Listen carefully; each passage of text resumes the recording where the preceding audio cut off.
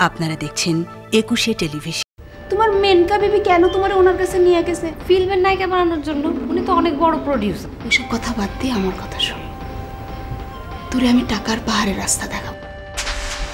আর টাকা থাকলে তো বাঘের চোখও মিলে। তখন নিজেই সিনেমা বানাবি নায়িকা হবি। আমি মেন কাদের মনে কষ্ট দিতে পারুম না। যেদিন রাত্রি দিয়ে খেলা দেবো সেদিন বুঝব। রিক্সা যেতে কত টাকা লাগে? দশটা টাকাই তো লাগে সেটা তো আমিই দিব। এই দশ দশ টাকা কইরা জমাইলে দেখবা একদিন এক কোটি টাকা হয়ে যেতে পারে। তোর ফুফাদি তো বসন্তের কুকিল।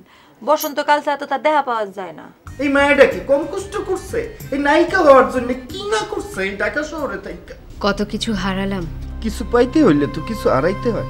এভাবে বেঁচে থাকার কোনো মানে নেই। জীবন তার দুইবার আসে না। যা করো না ওই একবারের মধ্যেই করতে হয়। ললিতার মা আর ভাই। তারা এখন আমার কবজে। তোমরা যদি ললিতার খোঁজ খবর আমারে দাও তাহলে তাদের খোঁজ খবর আমি তোমাকে করে দেবো। আমি যেরকম আছি সেরম থাকতে দাও। তুমি তোর পয়লা বউয়ের কাছে বিরোধ যাও গিয়া যাও। সেটা আমার পক্ষে কখনো সম্ভব না। আমার বেউরকু ললিতার খবরটা। ওই মেয়েটি তোমার বান্ধবী হয় কি করে? আমার ঘরের মধ্যে ক্যামেরা লাগিয়েছেন নাকি? তুমি খাল কেটে কুমির আনছো। কেন? যদি তোমাকে ড্রপ দিয়ে তোমার সব কিছু কেড়ে নে। আমি একটুও কষ্ট পাবো না। দুজনে একসাথে থাকব। বাই দা বাই আপনি কি আসছেন? হ্যাঁ ফ্রি হয়ে জানাচ্ছি। সাক্ষাতে সব বৃত্তান্ত।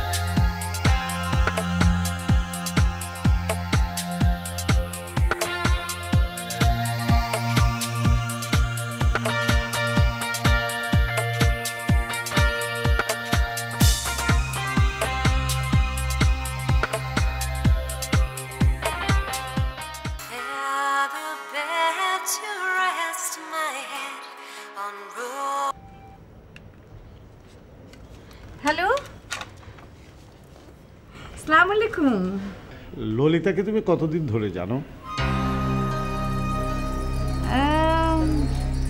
কেন বলেন তো? একটা মেয়ে তো পরিচয়হীন হতে পারে না। তার সম্পর্কে ভাবার আগে তার ব্যাকগ্রাউন্ডটা জানা দরকার না? জি মানে মেয়েটা অনেক দুঃখিত তাই। দুঃখ জয়ের রাস্তায় নামিয়েছ ওকে একটু বকে দিয়ে তো ও যেন যেখানে সেখানে না যায়। জি জি। আপনি যখন বলছেন তখন অবশ্যই বকে দিব। কিন্তু আপনি যদি অপরাধ মনে না করেন তাহলে আমাকে একটু একটা কথা বলবেন? হ্যাঁ বলো। কোথায় যায় ও? সাক্ষাতে বৃত্তান্ত। বাই। দিল গাইটা। কই যায়? আমার না বিলা আমি জানি না বদ্দা জানে। মেনুকাদি সেট রেডি তাড়াতাড়ি আসেন। আসতেছে এই মেকআপ তাদের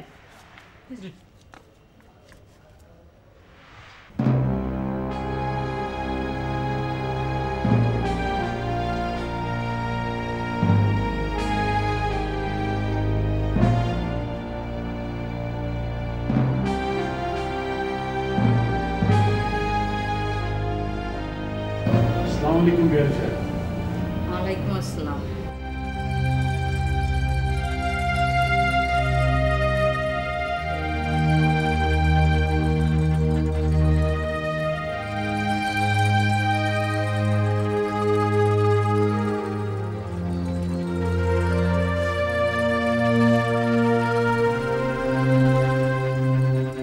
দিদার তো এখনও এলো না বিয়ান সাহেবা। ও তো আপনারই কন্ট্রোলে আপনি ভালো করে জানবেন ও কখন আসবে। আমার বড় জামাইও। ইদানিং আমার মেয়েটাকে বেশ কাঁদাচ্ছে। হ্যাঁ আমার ছেলেও তো বাবা না হওয়ার যন্ত্রণায় কাঁদছে। তারপরও ওকে একটু বোঝান। আমার মেয়ের চোখের পানি আমি কিন্তু সহ্য করতে পারি না। সেটা কোনো বাবাই পারে না। আপনি তো আমার রাগ সম্পর্কে জানেন। তুমি কি তোমার রাগ সম্পর্কে আমার কাছে বলছো? তুমি তোমার অতীত ভুলে গেছো। অতীত অতীত অতীত হ্যাঁ? অতীত দিয়ে বর্তমানকে বিচার করতে নেই বিয়ান সাহেব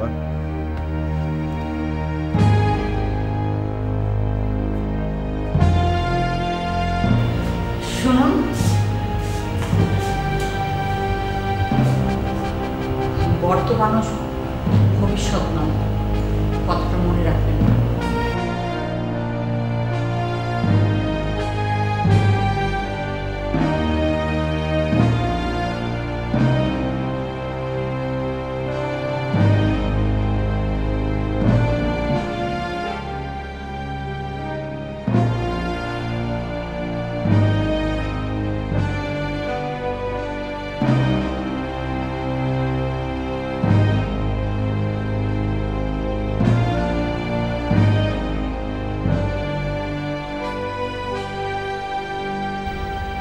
বর্তমান ও ভবিষ্যৎ নয়।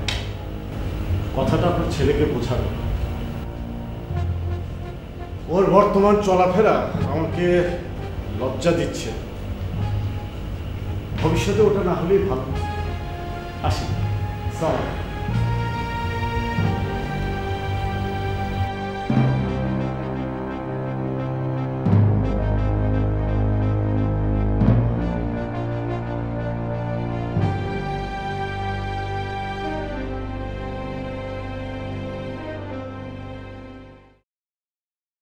কি হয়েছে? এরকম গোসা করে বসে রয়েছো কে?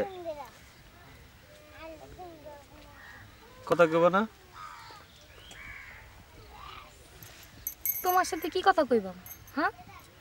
তো একটা না সরি দিছে তাই বলে এত গোসা করা লাগবো? যোগ্যতা নাই বিয়ে করছ কি লিগা? আমি কি করবাম খালা ম্যাডাম রাখি আমি কই যাব? তা খাওয়া মানে আমার সাথে থাও আমরা দিয়া হোক। তুমি এরকম গোসা করলে আমার অন্য কিছু মনে চায়। তো যাও করো। তাহলে চলো আমরা নিরুদ্দেশ হয়ে যাই। কই যাবা যেখানে দুই চোখ যায়। চলো। তোমার কথা হইল চলো।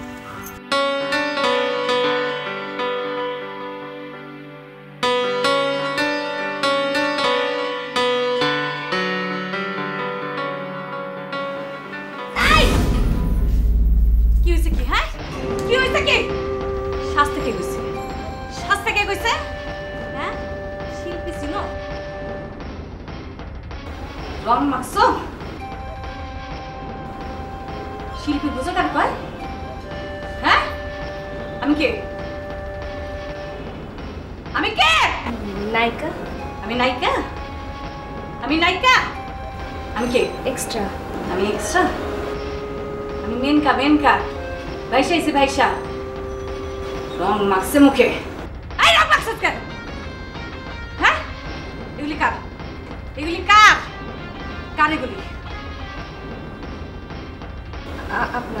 আমার দুই দিন হয় না ইন্ডাস্ট্রিতে হ্যাঁ? না? আসে? ভাইসা আসে, ভাইসা। তবে ভাইসা চলে যায়। সেদিন একটা মেয়ে। মরে গেছে বস্তিতে আমি তো আইছিলাম কি হয়েছে এ খবর রাখে শিল্পী আমরা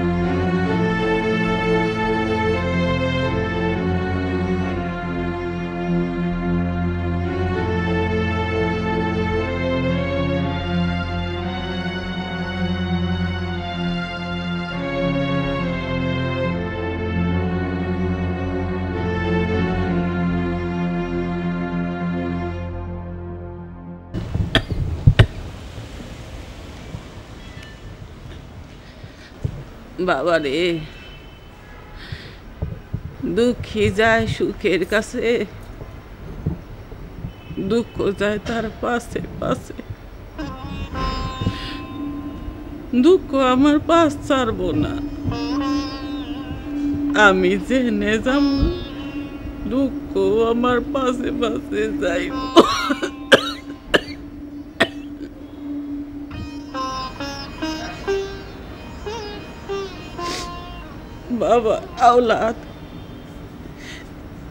মরার আগে আমার আমি একটু দেখা যাইতে পারুম না।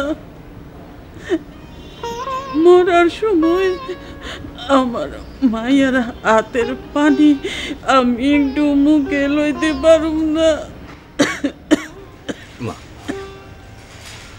এমন কথা কইেন না মা। আমি আসলে মানুষটা এত ভালো না। জন্মের পর থেকে মা বাপরে আমি দেখিনি। কেমনে দেখব? জন্মই তো হয়েছে একটা অন্ধকার জায়গায়। মা বাবার মরবো কেমনে বুঝব? আজ একটা সত্যি কথা আপনার কই, মা?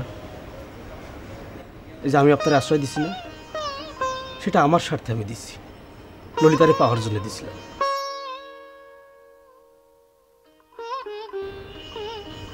আমি বুঝা গেছি। আমি কত বড় পাপি। যে জন্য ললিতারে পাইতে গিয়েও আমি পাই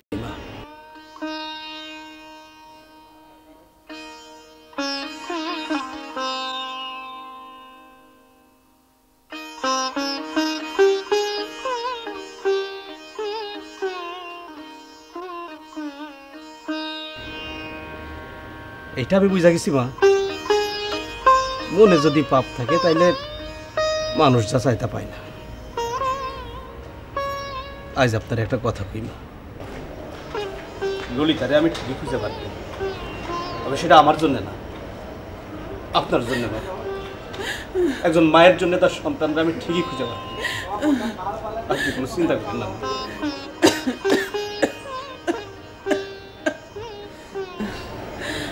মনীষ, আমি যাই রে। সকালে আসুন।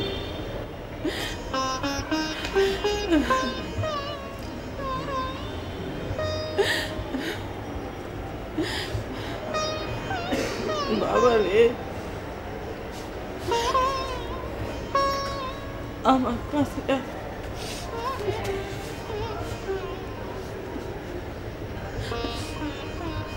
আমার আমার মানে রতন।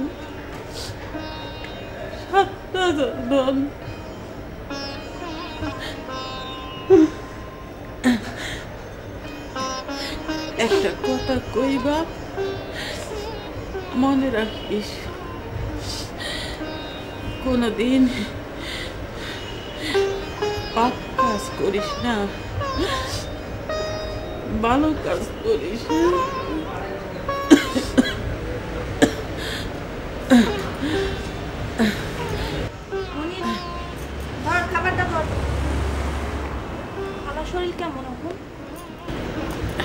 ভালো। মা খাইব না?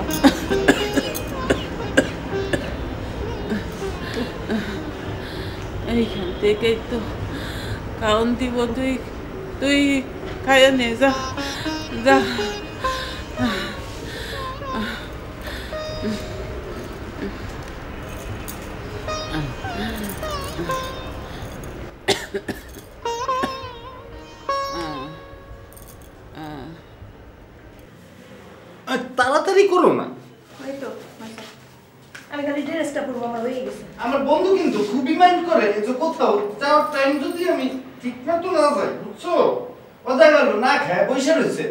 রয়েছে হয়ে গেছে তো। তাহলে আর একটু তাড়াতাড়ি এই আমি খালি ড্রেসটা পরবো। টিপ কি চেঞ্জ করব? ঠিক। লম্বাটা করি আচ্ছা পড়ো যাতে ভালো লাগে দেখতে বুঝছ? আমার ওই যে বন্ধু বউ ওর বিয়ের সময় তো আমি আমি উকিল বাবা ওর চাইছিলাম। তারপরে দেখছি এক মুরব্বী তখন আর উকিল বাবা আমি হই নাই বুঝছ? খুবই কলজ বন্ধু। তুমি গেলেই বুঝবা কি এত যত্ন করে। আচ্ছা ঠিক আছে হয়েছে তো। ও তো মাঝে মধ্যে ওর বাড়ির থেকে পিঠা পরে চাই না আমার খাওয়াইতো জানো? আচ্ছা শুনো। পনেরো মিনিটের মধ্যে কিন্তু আমি মিষ্টি কিনা ফিরতেছি। আমি খালি ড্রেসটা বলব আমার সবাই গেছে আচ্ছা তুমি আমার টাকা দাও মিষ্টি কেনার কত টাকা? দাও এ, দুই কেজির দাম কত হইতে পারে? দুই কেজি কিসের জন্য এক কেজি নিবা? আচ্ছা এক কেজি তাইলে দাও। শোনো ও গলির সামনে বড় দোকানটা দিয়ে কিনবা না বুঝছ? ওই পিছনের দিকে আছে না ওই যে নামাগলিটা আরে ওই দোকানে পচা মিষ্টি দেয়। বন্ধুর বাসায় যাইতাছি একটু ভালো মিষ্টি নিয়ে যাব না এতদিন পরে যাইতাছি। তোমার দেখতে দেখবে না সে? যে আমার বউ নিয়ে যাইতাছি একটা মানিজ্য আছে না? তুমি দেখো ওই রকম হাজার হাজার টাকার মিষ্টি কিনা সাজায় রাখছে তোমার জন্য। আচ্ছা তুমি যাই বুঝবা। এই একশো টাকায় হবে? আর তোমার কাছে আছে আমি জানি না। তাড়াতাড়ি আসতে